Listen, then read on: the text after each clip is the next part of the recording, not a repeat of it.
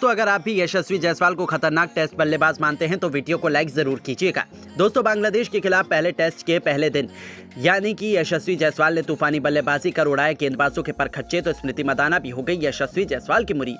कह दिया कुछ ऐसा, जिसे सुनकर आप भी रह जाएँगे हैरान। जी हाँ दोस्तों। भारत और बांग्लादेश के बीच खेले गए पहले टेस्ट मैच के पहले दिन यशस्वी जायसवाल ने शानदार प्रदर्शन कर सभी को हैरान किया, जिसको देख स्मृति मधाना का बयान सामने आया है। इस बीच स्मृति मधाना ने यशस्वी जायसवाल को लेकर एक ऐसा बयान जारी किया है, जिसको सुनकर आप भी तंग रह जाएँगे। तो आखिरकार स्मृति मधाना ने यशस्वी जायसवाल को लेकर क्या कुछ कहा है, ये तो आपको बताएँगे ही तो जानने के लिए वीडियो को पूरा एंड तक ज़रूर देखेगा, लेकिन उससे पहले आपको क्या लगता है?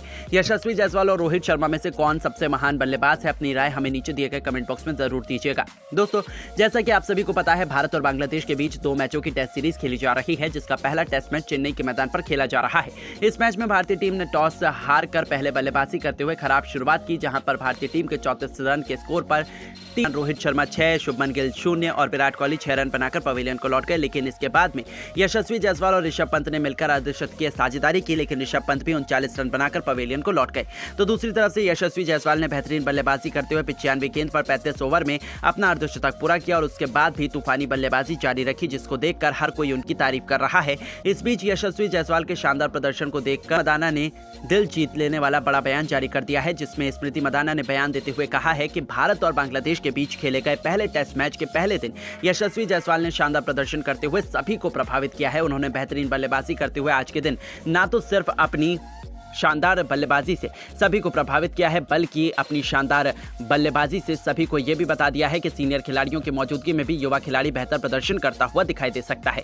इस मैच के अंदर आज यशस्वी जायसवाल की तरफ़ से शानदार सभी को स्पष्ट संदेश दे दिया गया है कि किस प्रकार से आप अपने खेल को और भी ज़्यादा बेहतर तरीके से खेल सकते हैं और बिना किसी गलती के बड़ी पारी खेलते हुए सभी का दिल जीत सकते हैं। आज उन्होंने जिस प्रकार से बेहतरीन बल्लेबाजी की है, उसे देखकर मुझे लग रहा है कि ये खिलाड़ी आने वाले समय में भारत का सबसे खतरनाक बल्लेबाज बन जाएगा, क्योंकि उनके पास में बड़ी काबिलियत है।